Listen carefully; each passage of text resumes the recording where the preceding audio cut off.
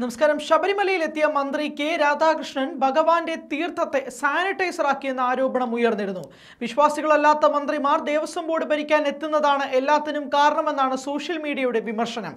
ശബരിമലയിൽ നട തുറക്കാനെത്തിയ മന്ത്രി മേൽശാന്തിയിൽ നിന്ന് തീർത്ഥം വാങ്ങിയെങ്കിലും അത് കയ്യിൽ തുടച്ചു കളയുകയായിരുന്നു. വിവാദത്തിന് മറുപടിയുമായി മന്ത്രിയും രംഗത്തെത്തി. ജീവിതത്തിൽ ചിലത് കുടിക്കാറില്ല എന്നും തുടർന്ന് അങ്ങോട്ടും കുടിക്കില്ല എന്നും മന്ത്രി പറഞ്ഞു. ദൈവത്തിന്റെ പേരിൽ പണം കക്കുന്നവർ പേടിച്ചാൽ മതി അമ്മയോട് ബഹുമാനമുണ്ട് എന്ന് വെച്ച് എന്നും തൊഴാറുണ്ടോ എന്നും മന്ത്രി ചോദിച്ചു. ചെറുപ്പം തൊട്ട് താൻ ശീലിച്ച ഒരുപാട് കാര്യങ്ങളുണ്ടെന്നും വിശ്വാസത്തിന്റെ പേരിൽ അതൊന്നും മാറ്റാൻ കഴിയില്ല എന്നും അദ്ദേഹം കൂട്ടിച്ചേർത്തു. ഞാൻ ചെറുപ്പം തൊട്ട് ശീലിച്ച ഒരുപാട് ശീലങ്ങളുണ്ട്. ഞാൻ ഈ വെള്ളമൊന്നും കുടിക്കാറില്ല. ഞാൻ എന്റെ ജീവിതത്തിൽ ഒരുപാട് കാര്യങ്ങൾ ചെയ്യാത്തതുണ്ട്. ഞാൻ ഒരുപാട് കാര്യങ്ങൾ കഴിക്കാത്തതുണ്ട്. അതിപ്പോൾ വിശ്വാസത്തിന്റെ പേരിൽ കഴിക്കാൻ പറഞ്ഞാൽ ഞാൻ തയ്യാറാവില്ല. അതാണ് അതിന്റെ വിഷയമെന്നും മന്ത്രി പറഞ്ഞു. Devaswom board president അനന്തഗോപനും Ranni M L A Pramod നാരായണനും ആദ്യം തീർത്ഥം നൽകി. അതിനുശേഷം മന്ത്രിക്കും കൊടുത്തു. സി പി എം പത്തനംതിട്ട ജില്ലാ സെക്രട്ടറി ആയിരുന്ന അനന്തഗോപൻ ഭക്തിയോടെ തീർത്ഥം കുടിച്ചു. പ്രമോദ് നാരായണനും അതുതന്നെ ചെയ്തു. ഇവർക്ക് പിന്നിൽ നിന്ന മന്ത്രി രാധാകൃഷ്ണൻ തീർത്ഥം വാങ്ങിയ ശേഷം കയ്യിൽ തേച്ച് പിടിപ്പിച്ചു. ഇതെന്താ സാനിറ്റൈസർ ആണോ എന്ന ചോദ്യമാണ് വീഡിയോ വൈറലായതോടെ ഭക്തർ ഉയർത്തിയത്. എല്ലാ അർത്ഥത്തിലും ശബരിമലയിൽ പ്രതിസന്ധികൾ ഏറെയാണ്. കടകൾ പോലും തുറന്നിട്ടില്ല. വിശ്വാസമില്ലാത്തവർ ദേവസ്വം ബോർഡിന്റെ തലപ്പത്തുള്ളത് കൊണ്ടാണ് ഇതെല്ലാം സംഭവിക്കുന്നതെന്ന് വിമർശനവും ഉയരുന്നുണ്ട്.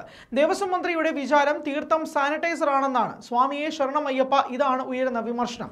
ശബരിമല തീർത്ഥാടന ഒരുക്കം വിലയിരുത്താനാണ് മന്ത്രി ശബരിമലയിലെത്തിയത്. രാധാകൃഷ്ണൻ കേരളത്തിലെ ഏറ്റവും സത്യസന്ധനായ കമ്മ്യൂണിസ്റ്റാണ്. വിശ്വാസിയുമല്ല.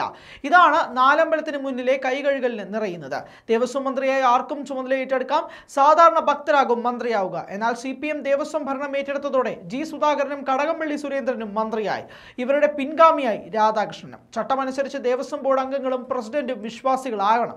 അവർ ദൈവനാമത്തിലാകും സത്യപ്രതിജ്ഞ ചെയ്യുക.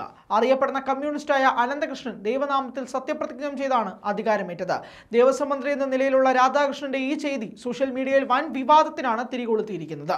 നട തുറക്കുന്ന സമയത്ത് ദർശനത്തിനായി നിന്നപ്പോൾ ഭഗവാന് മുന്നിൽ കൈകൂപ്പാതെ നിൽക്കുന്ന ദൃശ്യങ്ങളും വിവാദമായി തന്നെ തുടരുകയാണ്.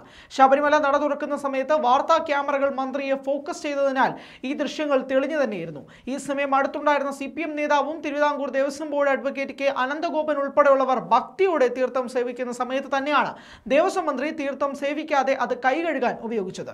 ദേവസ്വം മന്ത്രി വിശ്വാസിയാണോ അവിശ്വാസിയാണോ എന്നതല്ല പ്രശ്നം. മന്ത്രി വിശ്വാസത്തെ അവഹേളിക്കുകയാണ് ചെയ്തതെന്ന വാദമാണ് ശക്തമാകുന്നത്. വിശ്വാസി അല്ലെങ്കിൽ ഈ സമയം ചടങ്ങിൽ നിന്നും മന്ത്രിക്ക് ഒഴിഞ്ഞു നിൽക്കാമായിരുന്നു എന്ന വാദമാണ് പലരും ഉയർത്തുന്നത്. മുഖ്യമന്ത്രി പിണറായി വിജയൻ ശബരിമലയിൽ സന്ദർശനം നടത്തിയപ്പോൾ മാളികപ്പുറത്ത് നിന്നും വാവരി നടയിൽ നിന്നും പ്രസാദം സ്വീകരിച്ചിരുന്നു. ഇത് ചൂണ്ടിക്കാട്ടിയാണ് രാധാകൃഷ്ണന്റെ നടപടി ചോദ്യം ചെയ്യപ്പെടുന്നത്. വി എസ് അച്യുതാനന്ദൻ മുഖ്യമന്ത്രിയായിരിക്കെ സന്നിധാനത്ത് എത്തിയെങ്കിലും തിരുമുറ്റത്തേക്ക് കയറിയിരുന്നില്ല. എന്നാൽ മുഖ്യമന്ത്രി പിണറായി വിജയൻ ഒരു പടി കൂടി കടന്ന് ക്ഷേത്ര ദർശനം നടത്തിയിരുന്നു. ഇതോടെ ശബരിമല ക്ഷേത്രത്തിൽ സന്ദർശനം നടത്തുന്ന ആദ്യ കമ്മ്യൂണിസ്റ്റ് മുഖ്യമന്ത്രിയായി പിണറായി വിജയൻ മാറുകയും ചെയ്തു. മുഖ്യമന്ത്രിയുടെ നടപടിക്ക് മുന്നിൽ നിൽക്കുമ്പോഴാണ് രാധാകൃഷ്ണന്റെ നടപടി ചോദ്യചിഹ്നമായി തുടരുന്നത്. ശബരിമല സന്നിധാനത്ത് ചേർന്ന അവലോകന യോഗത്തിന് ശേഷം മന്ത്രി വാർത്താ സമ്മേളനവും നടത്തിയാണ് കഴിഞ്ഞ ദിവസം എത്തിയത്.